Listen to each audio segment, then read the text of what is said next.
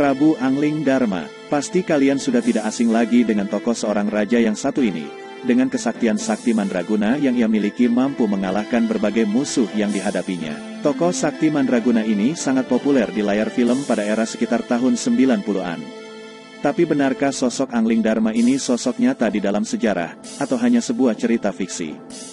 Untuk mengetahui kebenaran tentang sosok Angling Dharma, silakan simak pembahasan kali ini sampai selesai. Namun sebelumnya silakan berkontribusi membantu perkembangan channel ini dengan menekan tombol subscribe dan loncengnya terlebih dahulu. Legenda berkisah Prabu Angling Dharma dilahirkan oleh Pramesti, Putri Jayabaya. Sementara Jayabaya merupakan putra Gendrayana, cucu Yudayana dan cicit Parikesit. Silsilahnya jika ditarik sampai ke tokoh Mahabharata, yaitu Abimanyu, ayah Parikesit dan Arjuna, kakek Parikesit. Dia bertahta di kerajaan Malawapati. Bagi banyak orang, kisah Angling Dharma bukan legenda. Beberapa daerah, khususnya Jawa Tengah dan Jawa Timur, percaya tokoh itu pernah hidup di masa lalu. Misalnya, di daerah Pati, Jawa Tengah, terdapat makam yang diyakini tempat peristirahatan Angling Dharma. Letaknya di Desa Melawat, Kecamatan Sukolilo. Nama Melawat mirip Malawapati, Kerajaan Angling Dharma. Dua kilometer dari sana, di Desa Kedung Winong, Kecamatan Sukolilo, diyakini terdapat makam Pati Batik Madrim, tokoh dalam kisah Angling Dharma. Tidak hanya di daerah Pati, di Bojonegoro juga terdapat situs melawatan di desa Wotangare Kalatidu, yang dipercaya sebagai petilasan Angling Dharma. Lebih dari itu, Angling Dharma sempat diwacanakan menjadi ikon kota Bojonegoro. Sampai-sampai tulisan di gapura perbatasan berbunyi, Selamat datang di bumi Angling Dharma. Dwi Cahyono, Arkeolog dan pengajar sejarah Universitas Negeri Malang menjelaskan, sebelum berkembang kisahnya di berbagai daerah, Angling Dharma muncul lebih dulu dalam sastra lisan pada masa Hindu-Buddha. Yang menarik kemudian muncul klaim setting area untuk daerah-daerah tertentu. Dalam kisah yang kini dikenal luas, misalnya ada yang disebut negara Boja atau Bojanagara, yang kemudian dianggap sebagai toponimi daerah yang kini dikenal dengan Bojonegoro. Penyebutan tokoh Jayabaya di kisah itu mengingatkan pada Sang Mapanji Jayabaya, penguasa Kadiri yang memerintah pada tahun 1135 sampai tahun 1157 Masehi. Dia naik tahta menggantikan Bameswara. Tak banyak keterangan soal asal-usulnya. Selama memerintah 22 tahun, baru tiga prasasti yang sampai pada hari ini. Kabarnya, dia menjadi raja setelah merebut hak naik tahta dari kakaknya yang putra mahkota. Pertanyaannya, apakah Angling Dharma tokoh sejarah? Apakah dia berhubungan dengan sejarah Kadiri, khususnya Jayabaya? Dwi Cahyono, arkeolog dan pengajar sejarah Universitas Negeri Malang menjelaskan bahwa kemungkinan tradisi lisan kisah Angling Dharma sudah ada sejak sebelum Majapahit. Versi tertulis berjudul Ari Dharma dan adaptasi ke dalam relief Candi Baru muncul pada era Majapahit. Namun tidak semua karya sastra mengabadikan peristiwa historis. Penokohannya juga tak mesti selalu ada dalam dunia nyata. Sastra jenis kidung yang berkisah tentang tokoh historis, misalnya Kidung Ranggalawe dan Kidung Sorandaka. Dalam pengisahannya itu juga ada bias. Ada tambahan pengurangan, bias dari fakta untuk dramatika. Apalagi hingga kini dikenal banyak versi naskah tentang Angling Dharma. Menurut Lydia Kiven, dalam menelusuri figur bertopi dalam relief candi zaman Majapahit, Angling Dharma sekarang adalah versi bahasa Jawa modern dari Kidung Bahasa Jawa Pertengahan berjudul Aji Dharma. Kisah yang kemudian berkembang itu, tidak lagi bisa dikorelasikan dengan kisah yang terpahat dalam relief candi. Dwi Cahyono, arkeolog dan pengajar sejarah Universitas Negeri Malang, meyakini Angling Dharma hanyalah tokoh rekaan.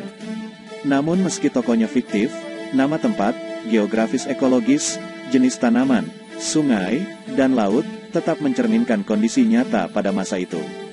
Ia juga sah dianggap sebagai gambaran sosial dan budaya ketika sastra itu ditulis. Itulah kenapa sastra tetap bisa dijadikan sumber, tidak untuk memfaktualkan tokoh fiktif. Tokoh bisa rekaan, namun kisahnya bisa saja memang kisah faktual. Jika karya fiksi itu kini dianggap seolah faktual, itu wajar. Pasalnya, dia begitu memasyarakat. Itulah mengapa kemudian ada pelokalan atau pengkaitan kisah dengan wilayah tertentu. Bahkan ada kadang-kadang yang mengatakan, tradisi lisan asal-usul daerah itu tergambar di Angling Dharma. Jika kemudian dihubungkan dengan Jayabaya, ini merupakan penjelasan yang ditambahkan kemudian. Karena dalam tradisi sebelumnya, Angling Dharma tidak dikenal asal-usulnya. Di kisah ini tidak disebut anak siapa, dari raja mana, baru kemudian pada perkembangan selanjutnya dikaitkan dengan Jayabaya. Begitu juga soal keberadaan kerajaan Malawapati. Tanpa ada bukti yang jelas, kerajaan itu pun bisa jadi hanya rekaan. Kalaupun ada tempat yang mirip namanya, kemungkinan hanya meminjam dari kisah Angling Dharma yang sudah begitu dikenal. Bisa saja kisahnya terkenal dulu, baru kemudian desa-desa itu meminjam nama-nama dalam sastra yang sudah terkenal, kata Dwi Cahyono. Dwi Cahyono, arkeolog dan pengajar sejarah Universitas Negeri Malang ini mengatakan, kisah Angling Dharma hingga bisa diminati seperti sekarang ini karena keragaman tokohnya.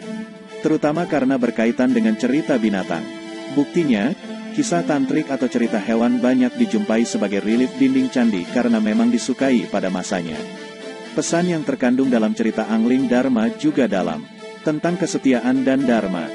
Biasanya yang setia itu istri, tapi ini tidak, yaitu laki-laki yang setia pada istri. Dia ingin ikut mati ketika istrinya mati. Setelah istrinya meninggal, dia bahkan hanya akan mencari wanita yang mirip dengan almarhum istrinya, Satyawati. Dari segi bahasa, Ari, artinya adik. Jika diambil dari judul awalnya, Ari Dharma. Ari seperti sebutan suami kepada istrinya.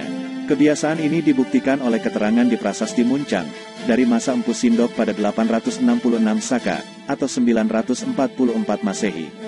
Disebutkan istri yang merupakan putri dari raja sebelumnya, Wawa, disebut Ari Parameswari, Diah Kepi.